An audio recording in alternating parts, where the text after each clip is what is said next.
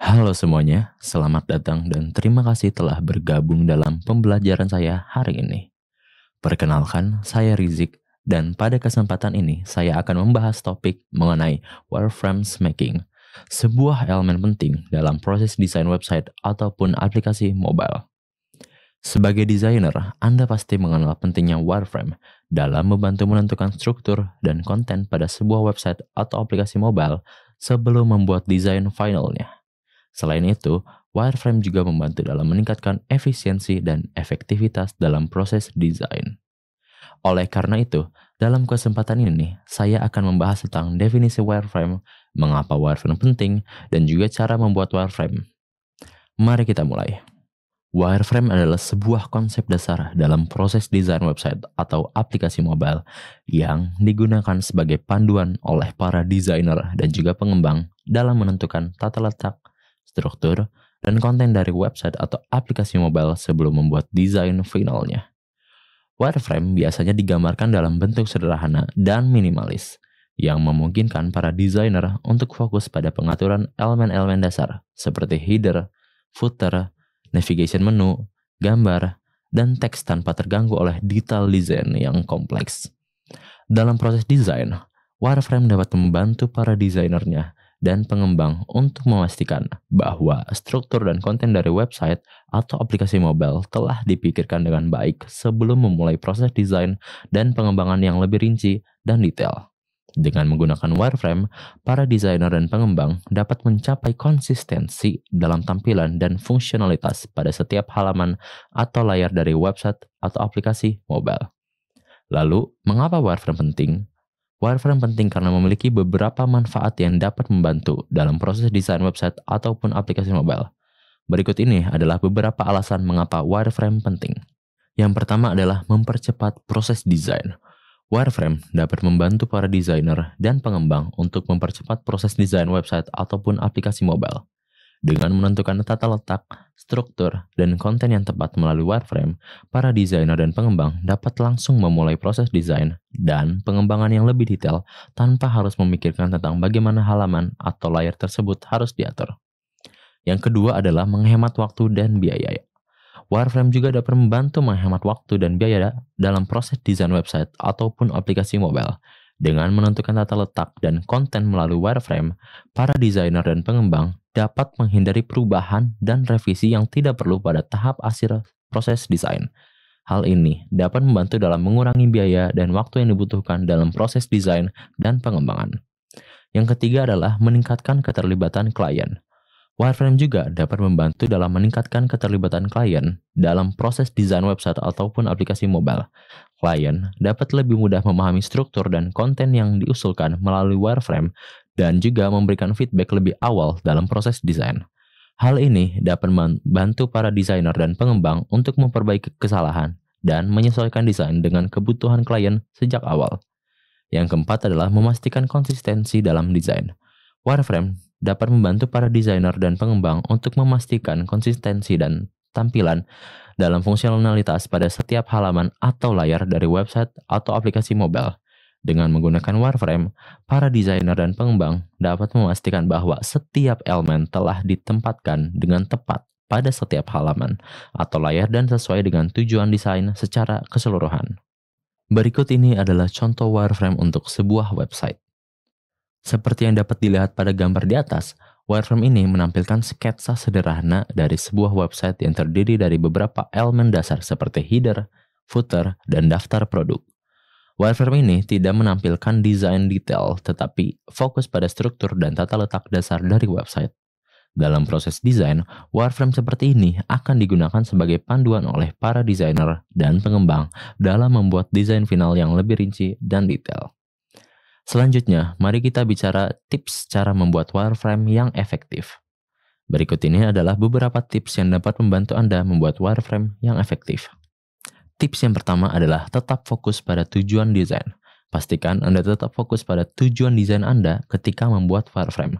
Hal ini akan membantu Anda menentukan elemen-elemen yang perlu ditampilkan pada wireframe dan menghindari penggunaan elemen yang tidak perlu. Yang kedua adalah gunakan bentuk warna yang sederhana. Gunakan bentuk dan warna yang sederhana pada wireframe Anda untuk memudahkan pemahaman dan fokus pada struktur dan tata letak. Hindari penggunaan warna dan bentuk yang terlalu kompleks dan mengganggu fokus pada struktur dan konten. Yang ketiga adalah pertimbangkan penggunaan ruang yang optimal. Pastikan Anda mempertimbangkan penggunaan ruang yang optimal pada wireframe Anda. Usahakan untuk memasukkan elemen-elemen yang penting pada ruang yang tepat dan hindari penggunaan ruang yang tidak perlu. Yang keempat adalah gunakan font yang mudah dibaca. Pastikan Anda menggunakan font yang mudah dibaca pada wireframe Anda. Hindari penggunaan font yang terlalu kecil atau terlalu rumit sehingga mempersulit pemahaman dari pengguna wireframe. Yang kelima adalah gunakan label yang jelas. Gunakan label yang jelas pada wireframe Anda untuk memudahkan pemahaman. Pastikan Anda memberikan label yang jelas pada setiap elemen yang ditampilkan pada wireframe, sehingga dapat membantu pengguna dalam memahami struktur dan konten yang ditampilkan. Yang terakhir adalah uji dengan pengguna. Uji wireframe Anda dengan pengguna Anda. Berikan wireframe Anda pada beberapa pengguna dan minta mereka memberikan feedback. Hal ini akan membantu Anda dalam memperbaiki wireframe Anda sehingga lebih efektif dalam menampilkan struktur dan konten dari website atau aplikasi mobile. Setelah mengetahui beberapa tips membuat wireframe yang efektif, mari kita masuk ke dalam langkah-langkah dalam membuat wireframe. Yang pertama adalah tentukan tujuan dan fokus desain. Langkah pertama dalam membuat wireframe adalah menentukan tujuan fokus desain Anda. Anda perlu memahami kebutuhan dan keinginan pengguna serta mengidentifikasi masalah yang perlu diatasi pada desain. Yang kedua adalah buat sketsa awal. Setelah menentukan tujuan dan fokus desain, buat sketsa awal untuk wireframe Anda. Anda dapat menggunakan pensil dan kertas ataupun software desain untuk membuat sketsa ini. Yang ketiga adalah tentukan struktur dan tata letak. Setelah memiliki sketsa awal, tentukan struktur dan tata letak yang sesuai dengan tujuan dan fokus desain Anda. Anda perlu mempertimbangkan elemen-elemen yang perlu ditampilkan pada wireframe dan posisi serta ukuran dari elemen-elemen tersebut.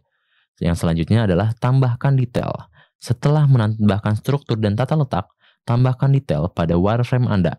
Detail ini dapat berupa label pada elemen-elemen, teks pada tombol atau menu, dan lain sebagainya.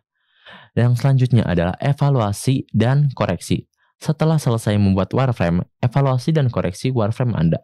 Pastikan wireframe Anda sesuai dengan tujuan dan fokus desain Anda, serta mudah dipahami oleh pengguna. Dan yang terakhir adalah uji dengan pengguna. Uji wireframe Anda dengan pengguna, berikan wireframe Anda pada beberapa pengguna dan minta mereka memberikan feedback. Hal ini akan membantu Anda dalam memperbaiki wireframe Anda sehingga lebih efektif dalam menampilkan struktur dan konten dari website atau aplikasi mobile. Anda dapat menggunakan berbagai tools untuk membuat wireframe, tergantung pada preferensi dan kebutuhan Anda. Beberapa software desain yang sering digunakan untuk membuat wireframe antara lain Adobe XD, Sketch, Figma, Balsamic, SketchUp, dan juga Mockups. Yang pertama adalah Adobe XD. Adobe XD adalah software desain dari Adobe yang dirancang khusus untuk membuat wireframe dan prototype. Software ini sangat intuitif dan mudah digunakan, serta memiliki banyak fitur yang dapat membantu dalam membuat wireframe yang efektif. Yang selanjutnya adalah Sketch adalah software desain yang khusus digunakan untuk desain UI UX. Software ini banyak digunakan oleh para desainer profesional karena memiliki banyak fitur yang dapat membantu dalam membuat wireframe dan prototipe yang efektif. Yang ketiga adalah Figma. Figma adalah software desain berbasis cloud yang dirancang khusus untuk kolaborasi dalam desain. Software ini dapat digunakan untuk membuat wireframe, prototype, dan desain UI UX dengan mudah dan efektif. Yang keempat adalah Balsamic. Balsamic adalah software desain yang dirancang khusus untuk membuat wireframe dengan cepat dan mudah. Software ini memiliki banyak library elemen-elemen UI UX yang siap digunakan, sehingga memudahkan dalam membuat wireframe yang efektif. Yang kelima adalah SketchUp. SketchUp adalah software desain 3D yang dapat digunakan untuk membuat wireframe dengan perspektif 3D. Software ini sangat berguna bagi para desainer yang ingin membuat wireframe untuk desain produk atau arsitektur. Yang terakhir adalah mockups. Mockups adalah software desain berbasis web yang dirancang khusus untuk membuat wireframe, prototype, dan desain UI UX dengan mudah dan efektif. Software ini memiliki banyak fitur yang memudahkan dalam membuat wireframe yang berkualitas tinggi. Dengan menggunakan tools yang tepat, Anda dapat membuat wireframe dengan lebih mudah dan efektif. Pilihlah software desain yang sesuai dengan kebutuhan dan preferensi Anda. Dan pastikan untuk mempelajari fitur-fitur yang ada agar dapat membuat wireframe yang berkualitas tinggi. Wireframe adalah sebuah desain dasar yang penting dalam proses desain UI UX. Wireframe berfungsi sebagai kerangka dasar yang memberikan gambaran umum tentang tata letak dan navigasi suatu produk digital.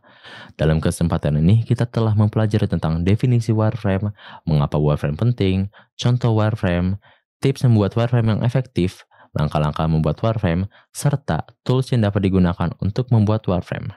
Dengan menggunakan wireframe, Anda dapat menghemat waktu dan biaya dalam proses desain produk digital, karena wireframe dapat membantu dalam mengidentifikasi masalah yang mungkin terjadi sebelum produk sebenarnya dibuat. Selain itu, Wireframe juga dapat membantu dalam mengkomunikasikan ide dan konsep dengan tim dan klien. Dalam pembuatan Wireframe, perlu memperhatikan tips-tips yang telah disampaikan agar Wireframe yang dihasilkan dapat efektif dan mudah dipahami. Selain itu, pemilihan tools yang tepat juga menjadi kunci dalam pembuatan Wireframe yang berkualitas tinggi. Dalam kesimpulan ini, dapat disimpulkan bahwa wireframe merupakan salah satu tahapan penting dalam proses desain UI UX dan juga penting untuk diperhatikan dengan seksama. Dengan memahami konsep dan tips membuat wireframe yang efektif, serta menggunakan tools yang tepat, Anda dapat membuat wireframe yang dapat membantu dalam menciptakan produk desain yang sukses. Terima kasih telah mendengarkan. Saya Rizik, pamit undur diri.